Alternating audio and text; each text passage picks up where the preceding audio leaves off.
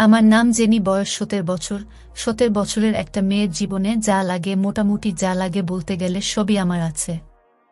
ভালো কাপড় চোপড় বন্ধু বান্ধব সুখের ঘর। সবই আছে, শুধু একটি জিনিস ছাড়া। আর তা হল মা। ঘটনা এমন যে আমার জন্ম দেবার সময় আমার মা মারা যায়। ছোটবেলা থেকে মা মরা মেয়ে হিসাবে ফুফুদাদির কাছ থেকে যে ভালোবাসাটা পেতে হয় তা কিন্তু আমি কখনো পাইনি। আর তার কারণ হচ্ছে আমার বাবার বিয়ে না করা। পুরুষ নাকি সুয়াত্তর এও বউ মরার পর কবরে শোয়ানোর আগে বিয়ের কথা চিন্তা করে। কিন্তু প্রেম করে দুই তিন বছরে বিয়ে এবং দুই চার বছরে বিপত্তিক হওয়া আমার বাবার করা নির্দেশ যে, আমি যেহেতু মেয়ের সন্তান, তাই কোনো সৎ মা আমাকে মেনে নেবে না, আর তাই বিয়ের কথা বাড়িতে মুখেও তোলা যাবে না। সবাই ভেবেছিল যে হয়তো কিছুদিন গাইগুই করবেন, তারপর ঠিকই বিয়ের পিড়িতে বসবেন।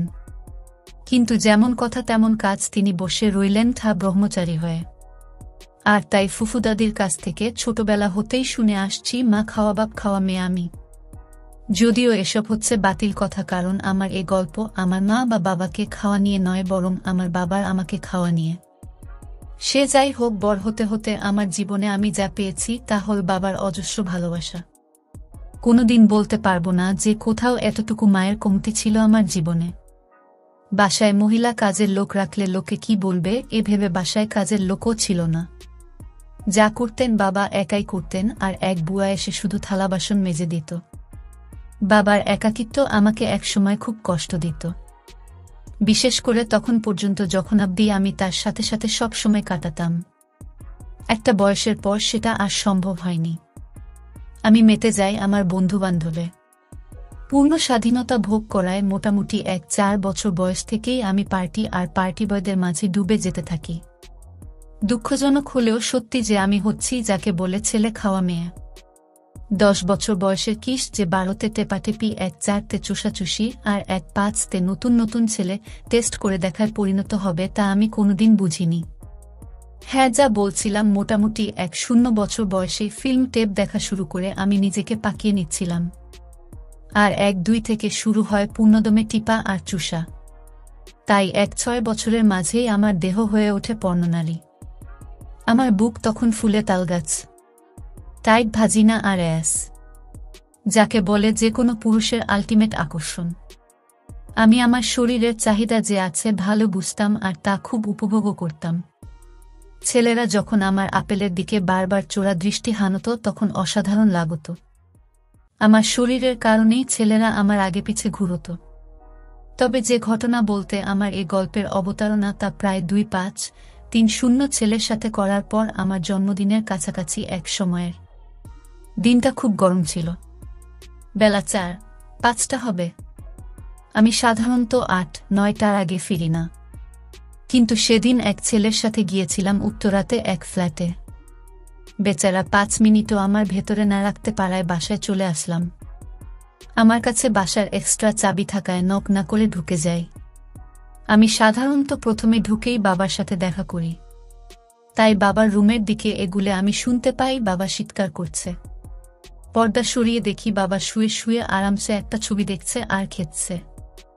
আমি যে সেখানে তিনি তা খেয়ালই করেননি।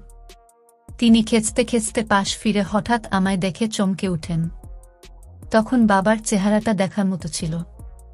হাতে দাঁড়ানো ধন দিয়ে মধু পড়ছে আর মুখে লজ্জার অভিব্যক্তি। আমি কিছু না বলে তাড়াতাড়ি রুম থেকে বেরিয়ে যাই।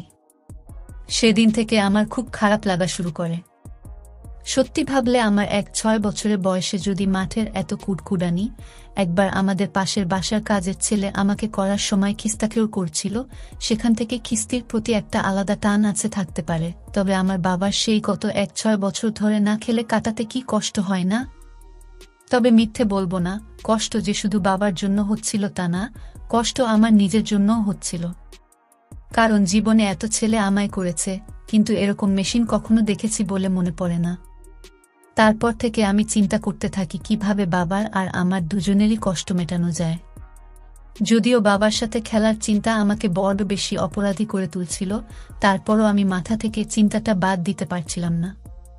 সব ভেবে চিনতে আমি সিদ্ধান্ত নেই আমার জন্মদিনের দিন যা করার করতে হবে। সাধারণত আমার জন্মদিন খুব ছোট করে শুধু বাবা আর আমি মিলে কাটাই।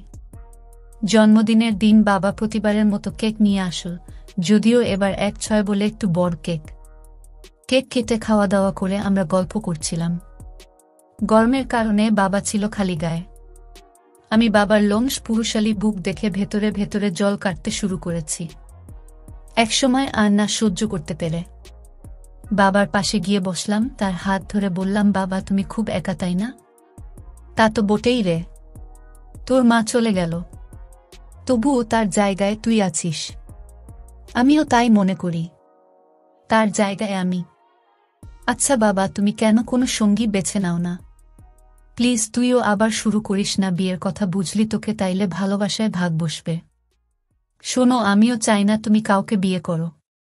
বা অন্য কাউকে সঙ্গী বানাও, আমি বলছিলাম, আমার কথা বাবা বলল মানে? এবার আমি খেপে যাই।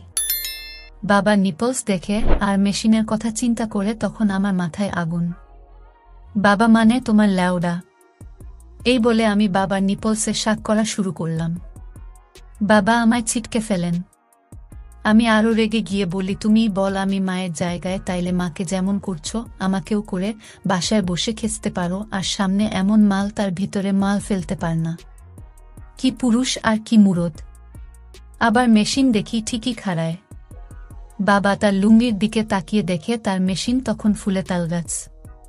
তোতলাতে থাকে বাবা। আমি এই সুযোগে আবার বাবার কাছে গিয়ে তার ঠোঁটে ঠোঁট রাখি। বাবা ইতস্তত করলেও এবার আর তেমন বাধা দেয় না।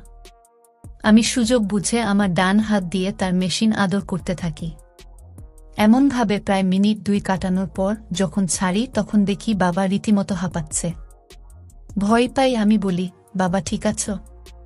পানি খাবে? বাবা আমার দিকে একটা দীর্ঘশ্বাস ফেলে বলে না, সোনা, তোকে খাব। এই বলে বাবা আর আমাকে কোনো সুযোগ দেয় না। আমার চুল ধরে কাছে টেনে নেয়।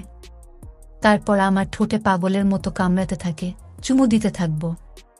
সত্যি বলব, কোনোদিন কোনো ছেলে এত প্যাশন নিয়ে আমায় চুমু খায়নি। এ কারণেই আসলে বলা হয় বাবা মেয়ের সম্পর্কই আলাদা। চুমু খেতে খেতে বাবা আমাকে জড়িয়ে ধরে, ঘাট কামড়ে ধরে আর আমার পাছায় হাত বুলাতে থাকে। তারপর জোরে জোরে টিপতে থাকে আমার আপেল। আমার ডান আপেলটা কাপ বানিয়ে টেপে সর্বস্ব বল দিয়ে। যদিও একটু ব্যথা পাচ্ছিলাম, কিন্তু কিছু বলিনি। আমি বুঝলাম, এতদিন যাদের ছেলে ভেবেছি তারা ছিল, হিজরা আজ একজন সত্যিকারের পুরুষ করছে আমায়। হ্যাঁ যা বলছিলাম, তারপর বাবা হ্যাচকা টানে আমার জামা উঠিয়ে ফেলে, খুলে ফেলে আমার ব্রা। বাবার সামনে তখন আমি পুরো টপলেস। বাপরে, মেয়ের কি আপেল? এই কথা বলে বাবা প্রায় ঝাঁপিয়ে পড়ে আমার আপেলের উপর। চুষতে থাকে জোরে জোরে। আমি বলতে থাকি, চুষতে চুষতে শেষ করে দাও আজ। তোমার সব কিছু। বাবা একটা আপেল হাতে নিয়ে আরেকটা চুষতে থাকে। আমি আনন্দে আহ উপ করতে থাকি। বাবা ধীরে ধীরে নিচের দিকে নামে। জিভ দিয়ে আমার পেট চাটতে চাটতে আমার নাভিতে গিয়ে থামে। নাভিতে দিতে থাকে রামচাটা। আমি মনের অজন্তেই পা মেলে দিই, যেন মনে হয় বাবাকে বলছি, বাবা, আস। তোমরা ঠাটানো মেশিনটা ঢুকিয়ে আমাকে শান্তি দাও। নাবি ছেড়ে তারপর বাবা আমার গর্তের দিকে নামে। মুখ দিয়ে আমার প্যান্টের ফিতা খুলে। আমি ভেবেছিলাম যে এখন মনে হয় তার রডটা আমার ভেতর ঢুকাবে বা গর্ত চাটবে। কিন্তু বাবা আমার গাতে শুধু একটা কিস করে তার আশপাশ চাটতে লাগল। আমার তখন পরিমরি অবস্থা। খেপে গিয়ে বললাম, খানকির পোলা নিজের মেঘ এত কষ্ট দিতে লজ্জা লাগে না? ঢুকা শালা তোর মেশিন। করে করে শেষ করা মারে বাবা এই কথা শুনে একটু হাসলেন। কিন্তু মেশিন না ঢুকিয়ে জিপ দিয়ে করা শুরু করলেন। প্রায় পুরোটা মনে হয় ঢুকিয়ে দিলাম আর গাতে। এভাবে কিছুক্ষণ করার পর বললেন, কি এইবার রেডি ঠেলা খাওয়ার জন্য? আমার উত্তরের কোনো অপেক্ষা না করেই বাবা তার লাউডা আমার গর্তে মাথায় সেট করল। আমার দিকে তাকিয়ে চোখ টিপি দিলে আমি বললাম, জলদি ঢুকাও। বাবা প্রথমে নিচু হয়ে আস্তে আস্তে ঢুকাতে লাগল। বাবার অল্প ঢুকানোতেই আমি বুঝলাম যতই পোলাখোর হই না কেন এর মেশিন আমার গর্তের সহয়ে ঢুকবে না। বাবা আমার পা দুটা ফাঁক করে তার কাঁধে তুলে দেয়। তারপর নিচে হয়ে আমার আপেল চুষতে চুষতে ঢুকাতে থাকে। আমার প্রথম দিকে কষ্ট হলেও ধীরে ধীরে আমি সহায় হতে থাকি। আর এ সুযোগেই একবার এক গুত্তায় পুরা নয় ইঞ্চি লোহার মতো মেশিনটা আমার ভিতরে ঢুকিয়ে দেয়। আমার মনে হচ্ছিল যে কেউ মনে হয় ছুরি ঢুকিয়ে দিয়েছে।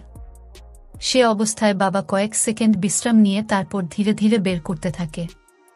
আর তারপর যা হয় তা হচ্ছে রামঠাপ বাবা আমার মুখ চেপে ধরে পশুর মতো তার স্টিল শক্ত লোহার মতো গরম মেশিনটা আমার ভেতর ঢুকাতে আর বের করতে থাকে। আমার মাঝে প্রায় জ্ঞান যায় অবস্থা। জীবনে অনেক অভিজ্ঞতার পরও আমার এই অবস্থা। এভাবে বাবা প্রায় মিনিট সাতেক থাপাবার পর বলে যে বাবার মধু বের হবে। সেদিন তাড়াহুডায় কন্ডম ব্যবহার করা হয়নি। তাই বাবা তাড়াতাড়ি গর্ত থেকে মেশিনটা বের করে আনে। বাবা হাত মেরে মধু বের করতে গেলে আমি বলি, দেও যেটার জন্য পৃথিবীতে আসছি সেটাকে একটু আদর করে দেই। বাবা তার মেশিনটা আমার কাছে আনলে আমি তাকে অবাক করে দিয়ে মুখে নিই মেশিনটা। আর তারপর রামচোষা শুরু করি। আরও দু মিনিট পর বাবা কিছু না বলেই আমার মুখে ফেদা ছেড়ে দেয়। আমিও খেয়ে নিই চেটে পুটে। সেদিন বাবার হাতে আরও তিনবার করা খেয়েছি। শেষবার আমি বাবার উপর উঠে তার মেশিন নাচিয়ে নাচিয়ে ঠেলা খেয়েছি। ওই দিনের পর হতে বাবা সুযোগ পেলেই আমাকে ঠাপান। মাঝে মাঝে আমার মাসিক চলাকালীন সময়ে বাবার উঠলে বিচি চুষে বাবার মধু নামাই। কয়েকবার আমার অনুরোধে কন্ডম ছাড়াই বাবা আমার মধ্যে মধু ফেলেছেন। তবে এসব ব্যাপারে সবসময় দ্রুত মায়া পিল নিয়েছি। এখন আর আমার বাবাকে একাকি লাগে না। মনে হয় আমি তো আছি। কেউ বলতে পারবে না, আমার জন্য বাবা অসুখী। বন্ধুরা, আজ আমাদের বাবা মেয়ের গল্প এখানেই শেষ। দেখা হবে অন্য কোনো ভিডিওতে, তাই আমার নতুন নতুন ভিডিও পেতে আমার চ্যানেলটি সাবস্ক্রাইব করে এবং ভিডিওটিতে একটি লাইক দিয়ে আমার সাথে থেকো। ধন্যবাদ। বাই।